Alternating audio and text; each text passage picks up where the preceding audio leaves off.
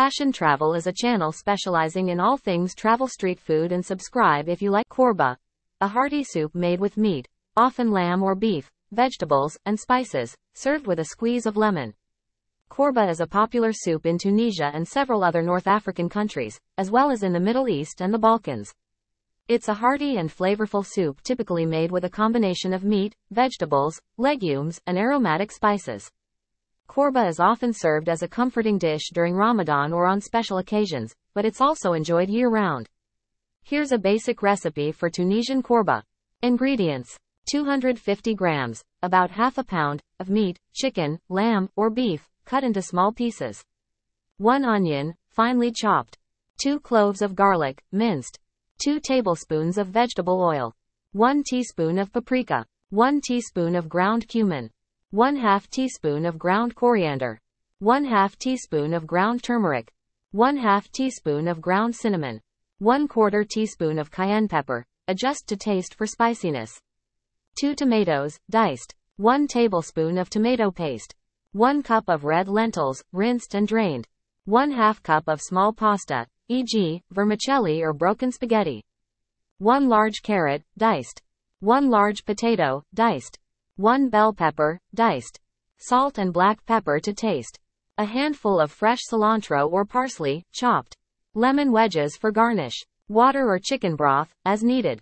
Instructions. In a large pot, heat the vegetable oil over medium heat. Add the chopped onions and saute until they become translucent. Add the minced garlic, paprika, cumin, coriander, turmeric, cinnamon, and cayenne pepper to the pot. Stir well and cook for another minute or until the spices become fragrant. Add the diced meat to the pot and brown it on all sides. Stir in the diced tomatoes and tomato paste. Cook for a few minutes until the tomatoes start to break down. Add the red lentils and enough water or chicken broth to cover all the ingredients in the pot. Bring the mixture to a boil, then reduce the heat and let it simmer for about 20 to 30 minutes, or until the lentils and meat are tender. Add the diced carrots, potatoes, and bell pepper to the soup. Continue to simmer until the vegetables are cooked through. Stir in the small pasta and cook according to the package instructions or until al dente. Season the soup with salt and black pepper to taste. Adjust the seasoning as needed. Just before serving, add the chopped cilantro or parsley to the pot and stir to combine. Tunisian pizza, bambalouni, deep fried dough topped with sugar or drizzled with honey, a sweet and savory street food. Tunisian pizza, known as bambalouni, is a delightful street food that offers a unique twist on the traditional concept of pizza. While it shares the name, pizza, bambalouni is quite different from Italian pizza. It's essentially a deep fried dough that can be enjoyed as a savory or sweet snack. Here's how Tunisian pizza, bambalouni, is typically prepared. Ingredients. Note. Bambalouni can be made as a savory or sweet dish. The ingredients differ based on your preference. Savory bambalouni. Dough. The dough is usually made from a simple mixture of flour, water, yeast, and a pinch of salt. It's similar to pizza dough. Toppings. Savory bambalouni can be topped with a variety of ingredients such as olives, cheese, tuna, capers, harissa, a spicy chili paste, and sometimes chopped herbs like parsley or cilantro. Sweet bambalouni. Dough. The dough for sweet bambalouni is prepared similarly to the savory version but may include a bit of sugar for sweetness. Toppings. For sweet bambalouni, common toppings include powdered sugar, honey, or a sprinkle of cinnamon and sugar. Preparation. Dough. Prepare the dough by mixing the flour, water, yeast, and salt.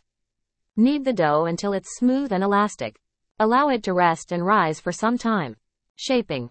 Divide the dough into small portions and shape them into rounds or oval shapes. Flatten each piece to create a thin disc. The size can vary based on your preference. Savory version. If making the savory version, add your choice of toppings to the dough rounds. Common toppings include olives, cheese, tuna, and a dollop of harissa. Sweet version. For the sweet version, you can skip the toppings at this stage. Frying. Heat vegetable oil in a deep frying pan or skillet. Carefully place the dough rounds into the hot oil and fry until they turn golden brown and crispy, flipping them to ensure even cooking. Draining. Once fried, remove the bambalouni from the oil and place them on paper towels to drain any excess oil. Grilled méchoui. slow roasted whole lamb or goat, seasoned with spices and herbs, often served at special events and festivals. Grilled méchoui, also known as meshui or lamb is a traditional North African and Middle Eastern dish that involves slow roasting a whole lamb or goat, often prepared for special occasions, feasts, and celebrations. The term méchoui itself means roasted or grilled in Arabic. This method of cooking results in tender and flavorful meat with a crispy outer layer.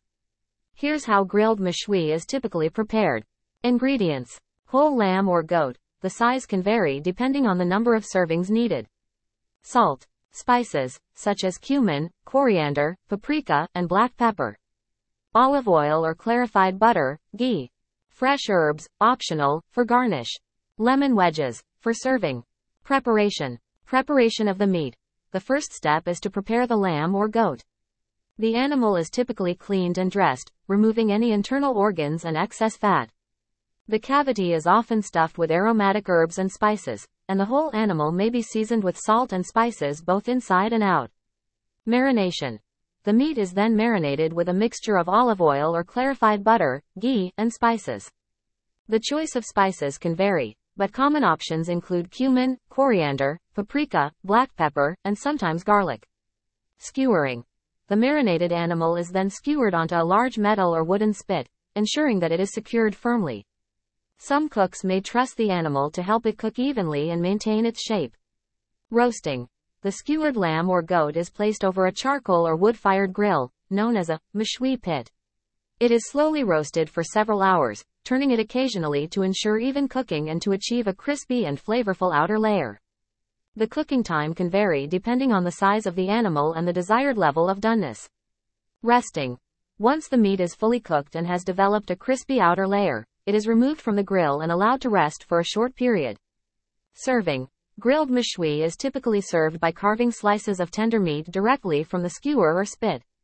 It is often accompanied by fresh herbs, lemon wedges, and additional spices if desired. Grilled méchoui is a celebratory dish that brings people together, and it is often the centerpiece of large gatherings and festivities in North Africa and the Middle East. The slow roasting method results in succulent and flavorful meat that is enjoyed with friends and family during special occasions. Tunisian salad, salata tounsiya, a fresh salad made with tomatoes, cucumbers, onions, and olives, dressed with olive oil and spices. Tunisian salad, known as salata tounsiya, is a fresh and vibrant salad that reflects the flavors of Tunisia's Mediterranean cuisine. It's a simple yet delicious salad made with fresh vegetables, aromatic herbs, and a dressing that typically includes olive oil and spices. Tunisian salad is a common side dish and can be found on the tables of Tunisian households and restaurants. Here's how to make a basic Tunisian salad. Ingredients 3 to 4 ripe tomatoes, diced. 1 cucumber, diced. 1 red onion, finely chopped. 1 green bell pepper, diced. 1 red or yellow bell pepper, diced, for added color. 1 quarter cup of black olives, optional. 2 to 3 tablespoons of extra virgin olive oil. 2 tablespoons of fresh lemon juice or red wine vinegar. 2 cloves of garlic, minced. 1 quarter cup of fresh parsley, chopped. 1 quarter cup of fresh mint, chopped, optional. Salt and black pepper to taste. Ground cumin, optional, for added flavor and warmth. Chili pepper flakes, optional, for a spicy kick. Instructions. Prepare the vegetables. Wash and chop all the vegetables. You can adjust the size of the dice to your preference, but traditionally, they are chopped into small pieces. Combine vegetables. In a large salad bowl, combine the diced tomatoes, cucumber, red onion, green and red, yellow bell peppers, and black olives, if using. Toss the ingredients together. Prepare the dressing. In a separate small bowl, whisk together the extra virgin olive oil, lemon juice, or red wine vinegar, minced garlic, and a pinch of salt and black pepper. You can also add a touch of ground cumin for extra flavor and chili pepper flakes for spiciness, if desired. Dress the salad. Pour the dressing over the chopped vegetables in the salad bowl. Gently toss the salad to ensure all the ingredients are coated with the dressing. Add fresh herbs. Add the chopped fresh parsley and mint, if using, to the salad and toss again.